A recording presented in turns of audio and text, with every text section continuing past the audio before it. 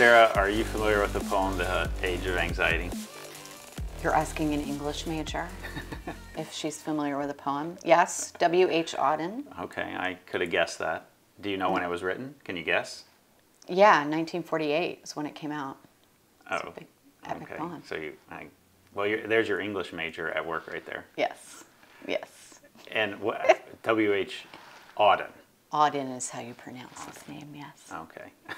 I was waiting for you to say, wow, impressive. You weren't Oh, acting sorry. nearly impressed enough. Wow, impressive. wow, impressive. Well, so Wow, so are you familiar with this poem yourself? Like No, you know no, what it's about? Not at all. Is this not important? No, it's not really important for today. Oh my gosh, just like strike me through the heart. I mean, an English major is going to be like, this is important to bring up for an English major. Why did you bring it up? Just because of the title and the date. I mean, it seems like it could have been written yesterday. Yeah, so so that's it. Like, you're not going to say anything else about Well, this poem? if it was written today, it would be called The Age of High Anxiety. Yeah, yeah. But that's all. That's the only reason I brought it up. But it's really important to at least kind of know what it's about, Mm, says the English major. says the English major. Okay, Okay, so, so, what's it about? As it's described elsewhere, it's about human isolation. Mm, It's mm-hmm. about a condition magnified by the lack of tradition, Mm. the loss of Mm-hmm. religious beliefs in the modern age. Are you even really listening? I'm The just setting- doing my man reply. You're okay. Mm-hmm. Am I English major splaining?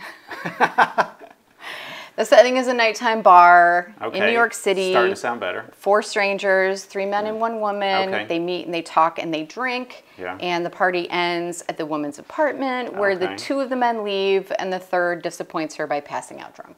And that's the end of the poem. That sounds heavy and depressing. It is so depressing. I don't think I need to read it. Well, oh, oh. It makes me anxious just thinking about it.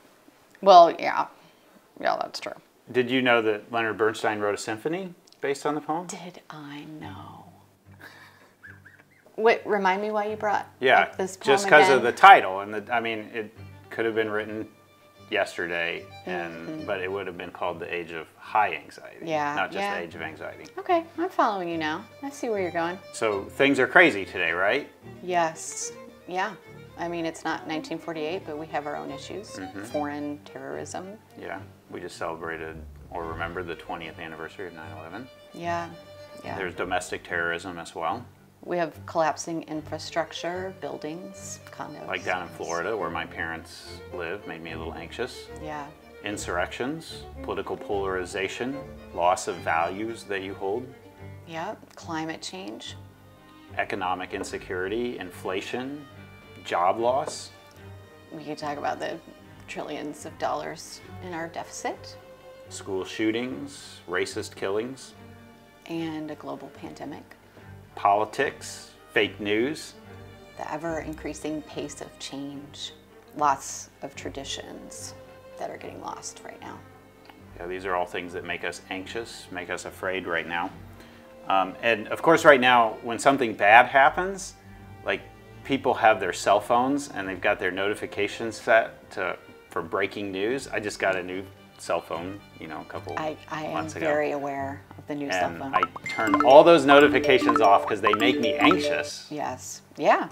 So, what makes you anxious?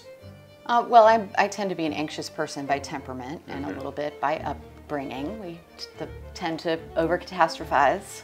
Um, I won't name names in my family, but we all do this. Um, but a lot of this was amplified when I was diagnosed with cancer in 2018. Mm. Yeah. Um, That was a tough year. It was a really tough year. And it didn't really, um, the anxiety didn't rise right away, but definitely within about six months after finishing treatment, I was realizing I wasn't able to calm myself down when there was like an alarm in my body, like something's not right. It's hard to over catastrophize when like the worst thing you could imagine has already happened to Yeah. you. Yeah. Yeah. How about you? That year made me really anxious too. yes. Very anxious. Yeah. Um, yeah. On a on a more lighthearted note, I for a while had this like recurring nightmare where I would be getting like showing up at church and five minutes before somebody was supposed to stand up and speak, I realized it was me and I hadn't prepared. Yeah, so there are all these everyday up in a cold anxieties from our jobs and stuff that like bleed into. I haven't had that nightmare in a while. I think it's because we're pre-recording the messages. Oh, how oh, lovely. Yeah. Yes, yes, yeah. So I'm sure we're not alone. Uh, maybe this will be a good point in our message so far to have people just just talk about what makes them anxious. Yeah. So let's talk about what makes you anxious and what makes you highly anxious.